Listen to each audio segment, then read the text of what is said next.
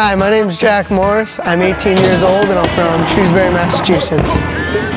What's up? My name is Mark Dodd. I'm 24 years old. Been skating for 14 years. I'm from Worcester, Massachusetts. Hi, my name is Tate Kokubo. I'm 13.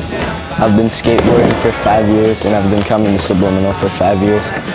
Right after when I get out of school, I just come here at 3 o'clock and I stay until probably around 9 o'clock and then I just catch a ride home or I skate home. And then I just do the thing, like the same thing every day. So being in Massachusetts, you know, we have shitty ass weather, obviously. Um, we've gotten probably like over eight feet of snow this year. We need a place like this. This park has been um, a family to me, a family to Jack. We have a whole Subliminal team family. This is a big impact. Without it, I'd probably just, I don't know, be doing drugs or something stupid and quit skating.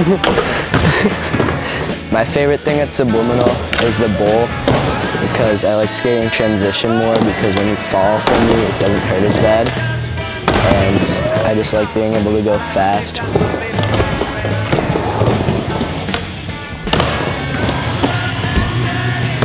Having this place is definitely something that we all appreciate and we're extremely grateful for. You know, without it, I probably wouldn't be skating as much as I do.